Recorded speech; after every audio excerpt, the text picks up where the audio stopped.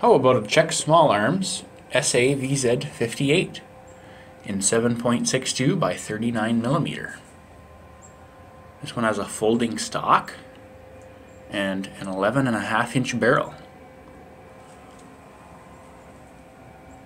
Very impressive rifle.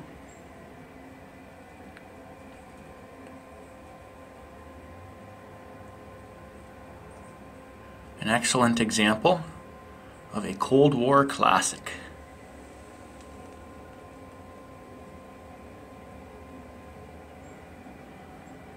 Even got an example of a military surplus bayonet and scabbard.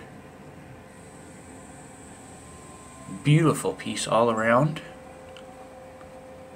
And that is an SA VZ58 by Czech Small Arms.